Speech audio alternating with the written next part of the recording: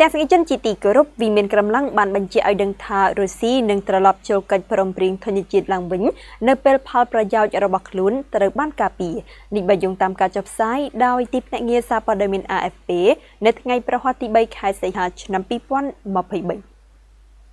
វាមាន ក្រំឡើងនៅថ្ងៃពុធសប្តាហ៍នេះបានបញ្ជាក់ឡើងវិញនៅគោលចំហរបស់ខ្លួនចំពោះកិច្ចព្រមព្រៀងនាំចេញក្របធញ្ញជាតិតាមច្រកសមុទ្រខ្មៅដោយអះអាងថាត្រៀមខ្លួនជាស្រេចដើម្បីត្រឡប់ទៅវិញភ្លាមភ្លាមនៅពេលណាដែលក្តីកង្វល់របស់រុស្ស៊ីត្រូវបានដោះស្រាយនេះបើយោងទៅតាមការចុះផ្សាយដោយទីភ្នាក់ងារសារព័ត៌មាន AFP នៅថ្ងៃប្រហ័សទី3ខែសីហាឆ្នាំ2023នេះជាការអត្ថាធិប្បាយរបស់អ្នកនាំពាក្យវិមានក្រមឡាំងលោក Dimitri Peskov មួយថ្ងៃបន្ទាប់ពីបេសកជនអាមេរិកប្រចាំអង្គការសហប្រជាជាតិនិយាយថា មានសញ្ញាវិជ្ជមានខ្លះដែលថារុស្ស៊ីចាប់អារម្មណ៍ក្នុងការត្រឡប់ទៅរកការពិភាក្សាអំពីកិច្ចព្រមព្រៀងដែលអនុញ្ញាត ឲ្យអ៊ុយក្រែននាំចេញក្របធញ្ញជាតិតាមសមុទ្រខ្មៅដោយសវត្ថិភាព លោកប៉ាស្កូវគូបញ្ជាក់ថា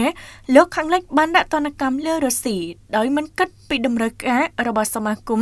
ពិភពលោក សម្រាប់ម្ហូបអាហារហើយអគ្គលេខាធិការអង្គការសហប្រជាជាតិដឹងយ៉ាងច្បាស់អំពីរឿងនេះរុស្ស៊ីក៏ដូចជាលោកប្រធានាធិបតីពូទីនបាននិយាយរឿងនេះ100ដងរួចហើយថា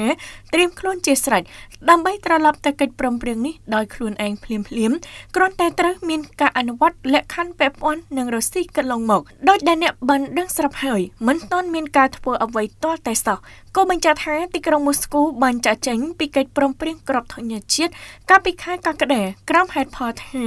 សហគមន៍អន្តរជាតិបរាជ័យក្នុងការធានាថារុស្ស៊ីក៏អាចនាំចេញក្របធញ្ញជាតិនិងជីកសិកម្មរបស់ខ្លួនដោយសេរីជាផ្នែកលើកិច្ចព្រមព្រៀងនោះ ប៉ុន្តែលោកខាងលិចថាការនាំចេញក្របធញ្ញជាតិនិងជីកសិកម្មរបស់រុស្ស៊ីមិនស្ថិតនៅក្រោមការដាក់ទណ្ឌកម្មរបស់ពួកគេនោះទេខណៈទីក្រុងមូស្គូថា